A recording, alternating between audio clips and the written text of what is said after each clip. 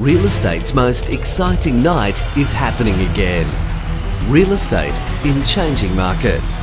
October 6th at 6.30pm 2011.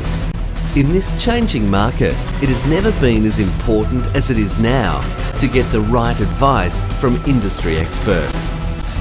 Let the people who drive real estate in your local area guide you through how to profit in this challenging marketplace.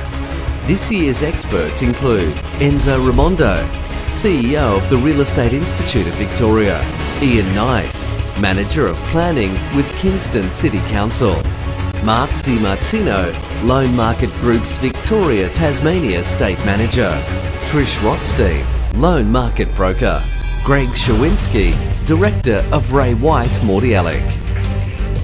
This fast paced evening will give you all the information you'll need to make an informed decision on your real estate future.